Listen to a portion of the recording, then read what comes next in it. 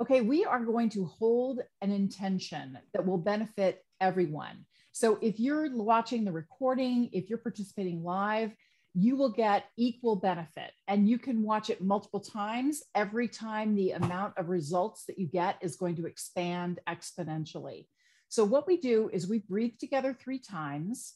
We're going to hold the intention for a full 10 minutes. So I'll read the intention at the beginning. And at that point, you see that as being the new reality. This is complete, this is real, this is the new reality. So let your imagination run wild. Whatever fun, crazy imagery comes to mind that makes it seem real for you, that is the perfect imagery. Three minutes later, I read the intention again for the second time. You pull that imagery down into your heart and feel deep, intense love and gratitude and excitement and delight that this is the new reality and you just hold that space and let other images come to mind in your heart.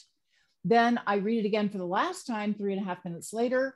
That's when you softly, gently release it out into the universe. This is to heal you as well as everyone you know, everyone you're related to, everyone you ever will know in the future, everyone you've known in the past that you're no longer connected to. You do have that level of power. Okay, so without further ado, Let's breathe together three times. Breathe in and breathe out. Breathe in and breathe out. Breathe in and breathe out. In love and light, we hold the intention that we let go of all judgment about our health and welcome immediate, complete, and permanent divine healing.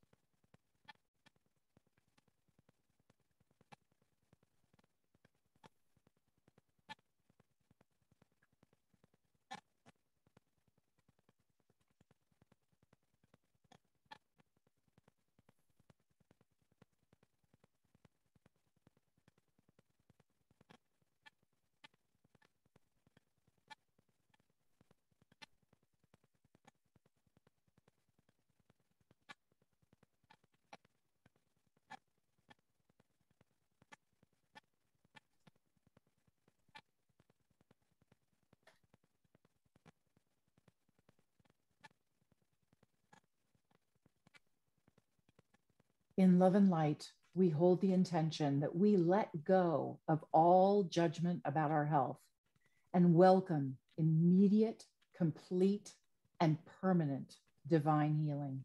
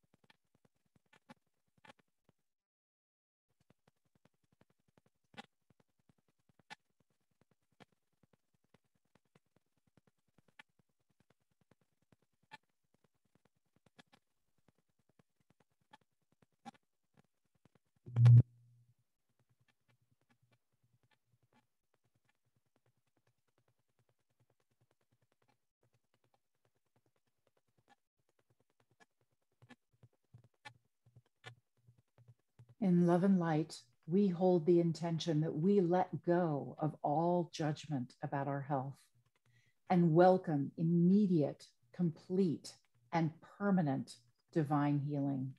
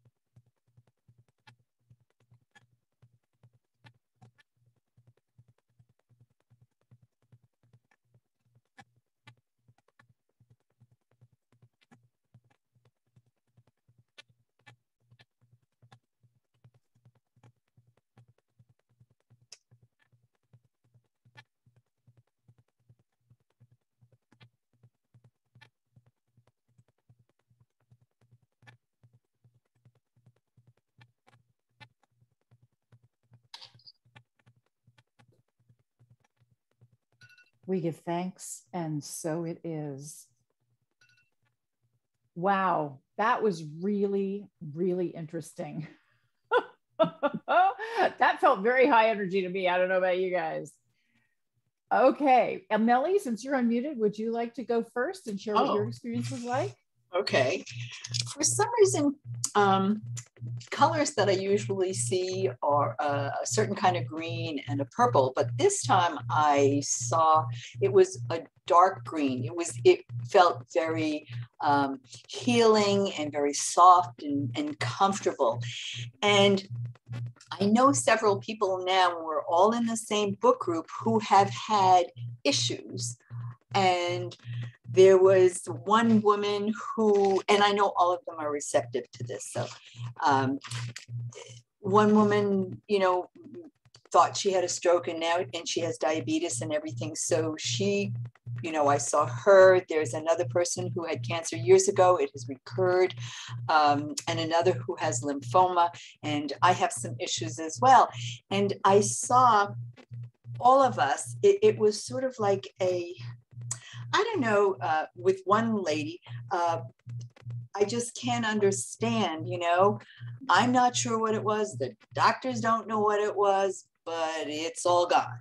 you know, what whatever whatever the issue was. And uh, and she's very happy, of course, to be moving on with her life. And though the woman who had a recurrence of of cancer said uh, that the doctors had said to her, it, you know, it, it showed up all of a sudden and now it's gone. You know, we don't we don't know how it happened, but that's the case. And the woman who uh, has lymphoma was supposed to continue treatment, but there was no need to continue the treatment. And for me, I saw myself um, with my three grandchildren, they're very young, um, having no back pain, knee pain, any kind of pain, and we're in the in a park and we're running around, and it's it's just so freeing and um, yeah, it feels good. It That's beautiful. That's so beautiful, Melly. Thank you for sharing that with us. I really appreciate it. That was great. Dorothy, would you like to unmute and share what your experience was like? I saw myself in a gray doctor's office, and uh, I was told what I shouldn't do, what I couldn't do, and I have to take these pills and those pills, shot and shot. Then I came home, and I was in front of my mirror and and suddenly I felt all these beings around me and say, they don't know what they're talking about. Do what you're feeling. You're not too old. You're not too sick. You can do it all. And then I saw myself, my daughter and I, my little daughter, I men. And I see myself on the field pushing and shoving. And from when I was 55, I took it this time. I didn't didn't draw back. I I ran hard. I collided, and every time I got hurt, it felt good. It's a good hurt because you can take it. And it I, I just slid, and by the time I got off the field, the game is over. And my daughter said to me, Dad, you can still play. And that's how I felt. That is great. I, I, I, I felt like I'm still, I like I still can do it. That's all. That's and I wonderful. will do it. That's wonderful, Dorothy. So proud of you. So happy for you. And we're going to hold that intention with you that, yeah, it's all there. You got it. You absolutely have it. Angela, could you unmute and share what your experience was like? Interesting how often Melly sees brighter colors, but I often see dark and black. And the same today, um, first section was black, and I was basically just mm, management about health and um, the second part, I saw each of us and and uh, those connected with us as just this light in the dark, and that we had cords connecting all of us, and um, and connecting with divine source, a beam of light. And then in the third part, we were using our palms to send that, and it was like this lighthouse everywhere in the world. So. Oh, hmm. beautiful. That's really beautiful. Thank you, Angela. Mm. And so interesting that when we're willing to let that light shine, it it goes right through us and cleans us as we allow that light to shine too. That's really beautiful imagery. Thank you. Excellent. Robin, could you unmute and share what your experience was like?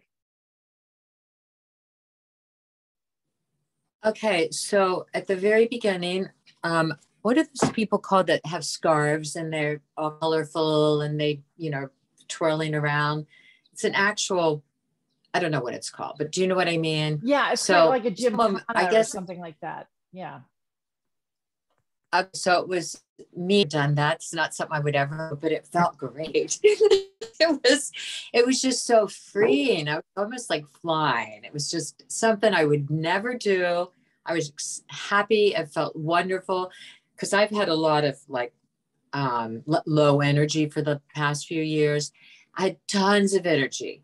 And then um, the second part, I was bringing into my heart um, my great grandniece, Martha Blue. I got to hold her today for the first time in a month and hold her and give her her bottle. And she locked onto my eyes and I locked onto hers. And it was pure love. And to me, whenever whenever I'm hurting, and that's that's what I uh, put in my imagination is that whole thing because it's pure love. And I felt so freeing. Then I had all of us together and a bunch of people that I don't know, but all the people you know in the world that are that are suffering or whatever we were at a um like cedar park cedar um what's it called uh, an amusement park um and uh, like children screaming and the you know we're on the ferris wheel and ah and everybody just having a ball and running all over the place and just like crazy kids like complete youth energy and then and then at the end I realized that this research that I was telling you about, it was done on rats, by the way. so, so I all of a sudden I saw this rat and then it went into like a black hole in space. And then all of this negative, um, you know, physics, this is the way we are kind of people, it all went down a black hole in space. it was kind of crazy. Yeah, that's brilliant that's really accurate. And I love that you're pointing out, you know, that scientific research that had you bummed out was done on rats, not on people. Yeah. And people yeah. are a little different. Yeah. Yeah. That's great. Thank you so much, Robin. I really You're love welcome. that. Thank imagery. you. David, what about you? What was your experience like? You got to unmute. Sorry. I was tempted to make a joke that their recent research into black holes has shown that they've discovered they're full of rats. Um, but uh, that's awesome. That's a good. Yeah, that's the good news. so I I uh, I saw mist, um, an, an enveloping mist that dog um, and then and then it lifted, uh, and then there was a night sky. So um, black black as night, except it was filled with stars. Um, so one of those super starry nights when you're away from a big city and there's no light pollution, so to speak, and you can just see millions and millions of stars visible to the naked eye um, and shooting stars as well and uh-huh. uh, and a, a, voice was heard that's uh, and it is healed mm. and um, and after that the voice said healing is here Mm. Wow. That is so powerful, David. Wow. Thank you so much for that. I really appreciate it. It's interesting what everybody has said, it kind of tied in with my experience. Jessica, what about you? What was your experience like? So interesting because I feel like I had a lot of words to night, like a picture, and but the words at first that came right after we started was, and so it is, and so it is, and so so I realized that was in response to the affirmation that you have here, and then um, and then segued into um, a message, and I I became aware in the middle of it that I was using the word we instead of just speaking my own. So if the word we sounds like I'm speaking to everyone, it's not intended to. It's just the way it came in. And it said, here's my message that that there were i don't know if you guys heard there was like a little noise in the background it almost was like a little bit of a radio and that sound in me like it made me think of that the radio is on in each of us and that we each have this divine signal. We all have heard this before that is constantly on, emitting a message to us all when we remember to listen. And this is where I was using the word we this and we that. So excuse the we's, please. And then when we remember to listen, um, and it's then said, I wrote, let go of fear and have more fun. And then at that point, I saw a brightly colored field and skipping. I don't know who was skipping. I don't know if it was me or everyone, but there was skipping in a bright flower field. and that we were all meant to have a lot more fun because, you know, I know for, you know, lots of people we get, we get weighed down by situations and health. And then came and it was this time, and no, it is so. And it ended on, and no, it is so. And so I don't know where that came from, but that was That's my message. Great. That's great, Jessica. Wow, that's really powerful. Thank you for bringing that in. Yeah, I had you. an amazing experience too. I immediately felt this just intense love and joy. And the vibrations of love and joy just kept flowing through my body in big waves, up and down, up and down, as soon as we started. And I got a very loud message that this is a radio signal that each of us is sending out. And as we connect, we amplify. And by coming together and all of us putting our focus and intention together, we're just amplifying the signal. And I saw us laughing for no reason, absolutely no reason for laughter, and dancing with the angels. And I heard that sound on the line also. And I heard it as a party line, that the angels are on a party line and we can sort of hear them talking, but not quite because they really love this intention and they're totally there with us and they're helping us get Mhm. that health to us. Um, Mhm. That every time we feel discomfort, it is a sign of healing. And so we can reorient to say, oh, that's a sign that my bones are knitting together. Oh, that's a sign that my brain is making new connections. Oh, that's a sign of, yeah.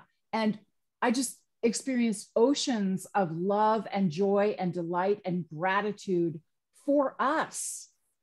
The divine felt that for us. And that was really just kind of mind blowing. And I heard we are the vanguard of new healing that spreads worldwide, gathering momentum just because we were willing to hold this space. And I also heard I choose divine healing. And I saw totally perplexed doctors, Melly. Absolutely. They had no clue what was going on. They didn't know how this could work. And I was reminded that I recently read a book. I don't remember the title of it, but it's written by a physicist.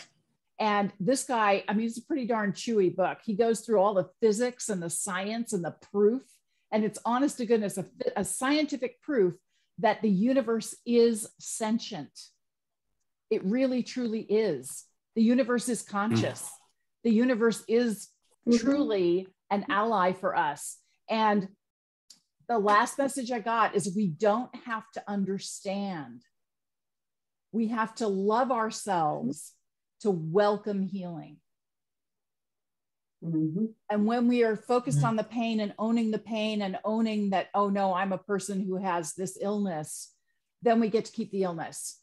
And instead, Mhm. when we welcome love, welcome that divine love, and just decide that everything is healed. And that was the really clear message everything is healed. I choose divine healing. Everything is healed. Mhm. And I was just like goosebumps. it was really intense. I was really cool. Yay. Mm. Yeah. Uh, Thank you. It's a Thank nice you. birthday gift. Oh, Ah, happy- birthday. Your birthday? Happy birthday, Angela. Thank Happy you. And I have sad news that my cousin passed away yesterday. So Oh, Oh, Hmm. Yeah, really but- sorry. for your loss. I see him, I see him happy. I'm I'm just sad for his, his mom, his Yeah. parents. Well, Okay. thank you all for being See you here guys. tonight. I'll see you again next week. Lots Thank you, love, Lynn. guys. Thanks, everybody. I will be